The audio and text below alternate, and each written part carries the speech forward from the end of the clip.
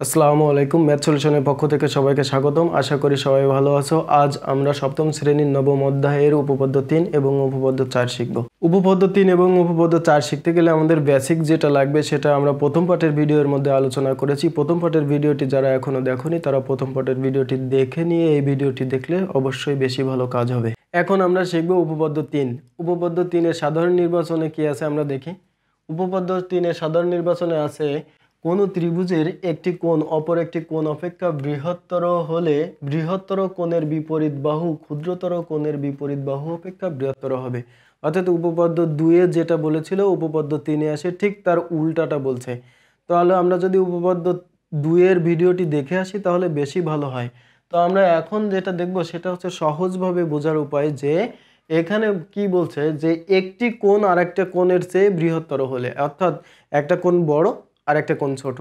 যে কোণটা বড়, তার বিপরীত বাহুটা বড় হবে, এটা মনে রাখতে হবে। বিপরীত বাহু বড় হলেই এটা হবে।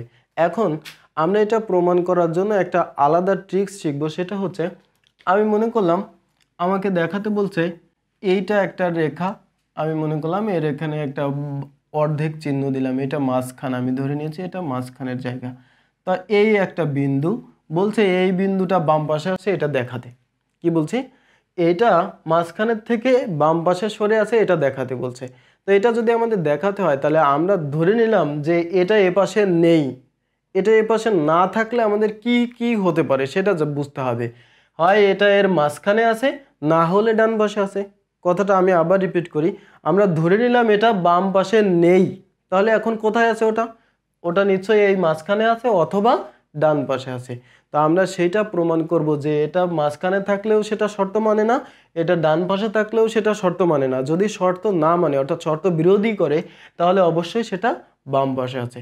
ট্রিক্সটা এরকম যে আমরা ভুল ধরে নিব, ধরে নিয়ে ওটাকে ভুল প্রমাণ করব, করে আমরা সঠিকটাই ফিরে আসব। তা আমরা দেখি কীভাবে এটাকে ভুল ধরে নিয়ে প্রমাণ করা যায়। আমরা এখানে লিখেছি, মনে করি এবিসি ত্রিভুজের কোন এ সি কোন এ সি মানে এই কোনটা গ্রেটার দ্যান এ বি মানে এই কোণটা। অর্থাৎ এই কোণের চেয়ে এই কোণ বড় আমরা সেটা ধরে নিয়েছি। তাহলে আমাদের কি প্রমাণ করতে হবে? এই কোণের বিপরীত বাহু হচ্ছে এসি এটা বড়।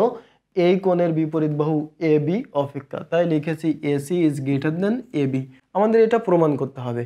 তো আমরা প্রমাণের আগেই বলছিলাম যে আমরা ভুল ধরে নিয়ে সেইটাকে ভুল প্রমাণ করে সঠিকটাই ফিরে আসব। তা আমরা এখানে বলেছি প্রমাণ।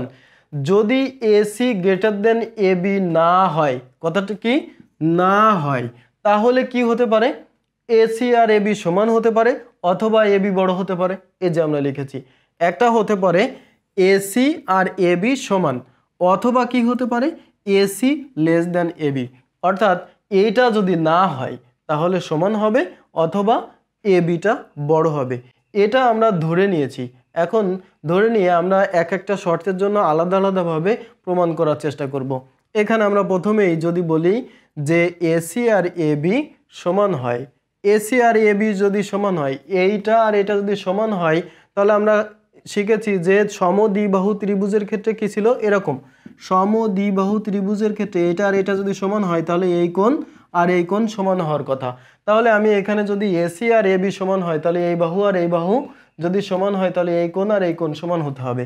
তাহলে আমরা এখানে লিখেছি, তবে কোণ A B C A B C সমান কোণ এ সি বি আমরা এটা লিখেছি। তার কারণ কি? এই যে এখানে লেখা হয়েছে, সমদ্বিবাহু ত্রিভুজের ভূমি সংলগ্ন কোণদ্বয় সমান। তার মানে আমার এইটা হতে হবে, যদি এটা ঠিক রাখতে হয়। তা আমাদের যে শর্ত ছিল, সে শর্তের মধ্যে কি ছিল দেখো? শর্তের মধ্যে ছিল A B C is greater than ACB তা আমরা এখানে একটু মনে করে দিয়েছি যে কিন্তু শর্ত অনুযায়ী A B C is greater than ACB অর্থাৎ এটা হওয়ার কথা। এখানে কি তাই হয়েছে? হয় নাই। না হওয়ার কারণে আমরা এখানে লিখেছি তা প্রদত্ত শর্ত বিরোধী। অর্থাৎ এসি আর এবি সমান হতে পারে না। এখন আমরা দ্বিতীয়টা কি বলেছিলাম? এসি লেস দেন এবি হবে। তা যদি এসি লেস দেন এবি হয় তাহলে এখানে খেয়াল করো A B C less than ACB হতে হবে। অর্থাৎ যদি এ বিটা বড় হয়ে যায়, এখানে আমরা লিখেছি এ বি যদি বড় হয়, তাহলে এ বির উল্টো দিকের কোন বড় হবে। সেইটা শর্ত হতে হবে। তা এখন দেখো, এখানে আমরা লিখেছি ক্ষুদ্রতর বাহুর বিপরীত কোণ ক্ষুদ্রতর। ক্ষুদ্রতর বাহুর বিপরীত কোণ হবে ক্ষুদ্রতর। তার মানে এইটা বড় হবে আর এটা ছোট হবে। এখন দেখো, আমাদের শর্তে কি ছিল? শর্তে এইটা ছিল। নিশ্চয়ই এটা ছিল না। তার মানে কি? এখানে লিখেছে, কিন্তু তা প্রদত্ত শর্ত বিরোধী। তার মানে এটাও শর্ত মানে না। খেয়াল করো, তা আমার এইটাও শর্ত মানেনি, আবার এইটাও শর্ত মানেনি। তাই আমরা লিখেছি, অতএব AC not equal to AB অর্থাৎ এসি আর এবি সমান হতে পারে না। আবার কি? এসি লেস দেন এবি এটাও হতে পারে না। তাই এখানে নট লেস দেন দেওয়া হয়েছে। তাহলে এটাও হতে পারে না, এটাও হতে পারে না। তাহলে নিশ্চয়ই এটাই হবে। তাই আমরা লিখেছি, এসি গ্রেটার দেন এবি তার মানে আমাদের কাজটা ছিল হচ্ছে ভুল ধরে নিয়েছিলাম। আমি আর একবার রিপিট করতেছি, সহজভাবে চিন্তা করতে হবে। এখানে বলা হয়েছে এইটা আর এইটা, সম্পর্ক দেওয়া আছে। তাই এইটা যদি না হয় তাহলে আমার এর উল্টো হবে না হলে সমান হবে। এই সমান আর এই উল্টো। সমানের সময় কোন দুটো সমান হয়েছে? তাই এই শর্তের মধ্যে কোন সমান ছিল না, তাই শর্ত বিরোধী। আবার যখন উল্টো, তখন এদিকেরটা বড় হয়েছে, তাও এখানে শর্ত ঠিক ছিল না, তাই এটা শর্ত বিরোধী। এই জন্য এটাও হতে পারে না, এটাও হতে পারে না, আর এই দুটো না হতে পারলে নিশ্চয়ই এটাই হবে, তাই আমরা এটা লিখে দিয়েছি। অর্থাৎ এটা প্রমাণ হয়েছে। একদম সহজ, খুবই গুরুত্বপূর্ণ উপপাদ্য। এখন আমরা উপপাদ্য চার শিখব। উপপাদ্য চারে কি আছে আমরা দেখি। উপপাদ্য চারের সাধারণ নির্বাচনে আছে ত্রিভুজের যে কোনো দুই বাহুর দৈর্ঘ্যের সমষ্টি এর তৃতীয় বাহু অপেক্ষা বৃহত্তর। কি বলছে? একটা ত্রিভুজের তিনটা বাহু থাকে। সেই তিনটা বাহুর যে কোনো দুইটা যোগ করলে আর একটা যে বাকি থাকে, অর্থাৎ সেটাকে তৃতীয় বাহু বা অপর বাহু বলা হয়, এর চেয়ে বড় হবে। অর্থাৎ এক, দুটোর যোগফল যদি পাঁচ হয়, তাহলে আর একটা চেয়ে এই পাঁচ যেন বড় হয়। বাকিটা যেন পাঁচের চেয়ে ছোট থাকে। ব্যাপারটা এরকম। অর্থাৎ যে কোনো দুইটা যোগ করলে আর একটার চেয়ে বড় হতে হবে। তো আমরা সেটা প্রমাণ করব, দেখি, প্রমাণ করা একদম ইজি একটা উপপাদ্য। মনে করি ত্রিভুজ এবিসি এর বিসি বাহু বৃহত্তম। সবচেয়ে বড় বাহু হচ্ছে কি এখানে? বিসি আমরা এটা ধরে নিয়েছি। তাহলে বিসি যদি বড় হয়, তাহলে আমরা দেখাবো বাকি দুটোর যোগফল। অর্থাৎ এখানে এ বি আর এসি এর যোগফল দেখাতে হবে বিসি এর চেয়ে বড়। তাহলে আমরা কি করব?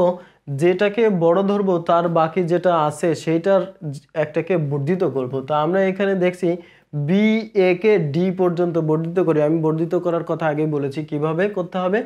বি এ মানে এ এর ওই দিকে বাড়বে ডান দিকে বাড়বে। তার মানে এখান থেকে এই পর্যন্ত বর্ধিত করছি যেন একটা কন্ডিশন আছে। সেই কন্ডিশনটা কি? এই বাহুর সমান এটা হয়। তার মানে এসি আর এডি সমান, এইভাবে আমরা আঁকবো। তো আঁকার সময় আমরা কীভাবে আঁকবো? স্কেল দিয়ে আঁকতে পারি, তবে কম্পাস দিয়ে আঁকা সবচেয়ে ভালো। কাটাটা এখানে বসাবো, বসায় পেন্সিলের মুখটা এদিকে নিব, নিয়ে এদিকে একটা বৃত্তচাপ আঁকবো, জাস্ট এরকম। বৃত্তচাপ এঁকে তারপরে আমরা ওই পর্যন্ত বর্ধিত করব, আর এখান থেকে বল সি আর ডি যোগ করব। তাহলে আমার এখানে একটা অতিরিক্ত ত্রিভুজ হয়েছে। এই ত্রিভুজের মধ্যে দেখো এই বাহু আর এই বাহু সমান, আমরা কেবল আঁকলাম। তাহলে দুইটা বাহু সমান হলে আমরা কি জানি? এই কোণ আর এই কোণ সমান। আমরা আগেই বলেছিলাম যে একটা সমদ্বিবাহু ত্রিভুজের ভূমি সংলগ্ন কোণ দ্বয় সমান, অর্থাৎ দুটো বাহু সমান, এদের এজন্য এদের কোণ দুইটাও, অর্থাৎ বিপরীত কোণ দুইটা সমান। তো আমরা এখানে দেখো লিখেছি যে ত্রিভুজ এ ডি সি এর এডি সমান এসি আমরা এঁকেছি কেবল, তাই? তো সমবাহু ত্রিভুজের ভূমি সংলগ্ন কোন দ্বয় সমান, তাই যদি হয় তাহলে এই কোণ আর এই কোণ সমান হয়। এটা তুমি এর পিছনেও লিখতে পারো। তো এই কোণ আর এই কোণ সমান, অর্থাৎ এ সি ডি এই কোণ আর এই কোণ সমান। এ ডি সি আর এ সি ডি কি? সমান। তাই যদি হয়, তো আমরা দেখো এইটাকে এই পর্যন্ত বলতে পারি। অর্থাৎ এডিসিকে আমরা বলতে পারি বিডিসি তাই এখানে একটা লাইন এক্সট্রা করা আছে, বা এসিডি এর এইটার পরিবর্তে লেখা হয়েছে বিডিসি মানে এটা অর্ধেকটার মধ্যে বলা ছিল, এই পুরো বাহুটা নিয়ে বলা হয়েছে। তো আমরা কি করেছি? বিডিসিতে কনভার্ট করেছি, তার মানে আমরা এখানে দেখলাম এসিডি সমান হচ্ছে বিডিসি এখন আমরা যদি পুরা ত্রিভুজের কথা চিন্তা করি, খেয়াল করো, এইটুকু এই পুরোটার চেয়ে নিশ্চয়ই ছোট, কারণ পুরোটার একটা খণ্ডিত পার্ট এটা এটা একটা অংশ। তাহলে আমরা এখানে দেখো লিখেছি BCD is greater than ACD এর কারণ কি? এর কারণ হচ্ছে এই পুরোটার একটা ছোট অংশ এটা। তাই এই পুরোটা বড় আর ছোটটা তো ছোটই। তাই এখানে লেখা আছে এসিডি বিসিডি এর একটি অংশ। ওকে এখন বিসিডি তো বিসিডি রয়ে গেল, আর এটার পরিবর্তে আমরা এটা লিখতে পারি। এই যে এখানে প্রমাণ করেছি এসিডিকে লেখা যায় বিডিসি তা আমরা এখানে এসিডির পরিবর্তে লিখেছি বিডিসি তো এটা বিডিসি আর এটা হচ্ছে বিসিডি তো আমরা এর আগে যেটা প্রমাণ করেছি ওরকমই এটাও। যে কোন বড় তার বিপরীত বাহু বড়। তাহলে এই কোণটা বড়, তো এই কোণের বিপরীত বাহু হচ্ছে বিডি এই পর্যন্ত। তাই আমরা এখানে দেখো লিখেছি BD is greater than BC মানে এখানে যেটা ছিল এই কোণ, এই কোণের বিপরীত বাহু হচ্ছে এইটা। তার মানে বিসি ছোট আর বিডি বড়। এখানে একটা ছোট্ট কৌশল তোমাদেরকে বলতে পারি। এর মাঝখানেরটা মাঝখানেরটা বাদ দিলেই হয়ে যায়। দেখো এখানে বিসিডি কোন ছিল। তাহলে এই বিডি অর্থাৎ সি শুধু বাদ গেলে যা থাকল তাই। এখানেও একইভাবে বিসি থাকল। দেখো মাঝখানেরটা অর্থাৎ মাঝখানের কোণের মাঝখানে যেটা থাকে সেটা বাদ দিলেই এটা বোঝা যায়। এটা মনে রাখার জন্য বললাম আর কি। ওটা কোনো সূত্র না আর কি। এখন দেখো এই বিডি বিডি কোথা থেকে কোন পর্যন্ত? এখান থেকে এই পর্যন্ত হচ্ছে বিডি এটাকে কেটে আমি এখান থেকে এটুকু ভাগ করতে পারি। অর্থাৎ এ বি প্লাস এডি লেখা যায়। তাই আমরা এখন লিখেছি, দেখো, এ বি প্লাস এডি আবার এখানে কি লিখেছি, দেখো বিসি বিসি রয়ে গেছে। এডির পরিবর্তে আমরা প্রথমেই, দেখো, এঁকেছিলাম এডি আর এসি সমান। অর্থাৎ এইটা আর এইটার সমান, তাহলে এডির পরিবর্তে আমরা লিখতে পারি এসি অর্থাৎ আমরা এখানে, দেখো এডির পরিবর্তে লিখেছি এসি তা আমাদের যেটা এখানে লিখে দেওয়া হয়েছে, তা যেটা আমাদের প্রমাণ করতে বলছিল সেটা প্রমাণ হয়ে গেছে। এখানে আরও আর একটা সাইড নোট দিতে চাইলে দিতে পারো। বিডি সমান হচ্ছে এ বি প্লাস এডি এটা দেওয়া যায়, না দিলেও অসুবিধে নেই। তাহলে আমরা কি প্রমাণ করলাম? A B plus AC is greater than BC আশা করি কারোর বুঝতে অসুবিধা হয় নাই। যদি অসুবিধা হয় তাহলে অবশ্যই কমেন্ট করে জানাবে। এই ছিল আমাদের নবম অধ্যায়ের দ্বিতীয় পাঠের আলোচনা। পরবর্তী ভিডিওতে থাকবে নয় দশমিক দুইয়ের দশ নম্বর এবং পনেরো নম্বর সৃজনশীল। সো এই ভিডিওটি যদি তোমাদের ভালো লেগে থাকে এবং এখান থেকে নতুন কিছু শিখে থাকো, তাহলে অবশ্যই ভিডিওটি লাইক, কমেন্ট এবং বন্ধুদের মাঝে শেয়ার করতে ভুলবে না। পরবর্তী ভিডিও পেতে অবশ্যই ম্যাথ সলিউশনে এই চ্যানেলটি সাবস্ক্রাইব করবে। ভালো থাকো, সুস্থ থাকো এবং শিখতে থাকো নতুন কিছু।